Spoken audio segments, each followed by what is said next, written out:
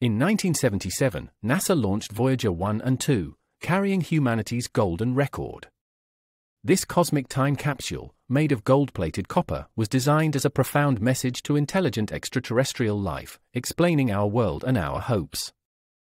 This incredible record holds 115 images, sounds of Earth like crashing waves and animal calls, and diverse musical selections. It's a comprehensive portrait, showcasing our planet's beauty and the very essence of human experience through art and scientific discovery. More than just data, the Golden Record is humanity's profound attempt to communicate. It reflects our hopes for peace, our dreams of understanding, and our deep seated desire to connect across unimaginable distances. It's a testament to our curiosity and ingenuity. As the Voyager probes journey onward, the Golden Record remains humanity's enduring legacy.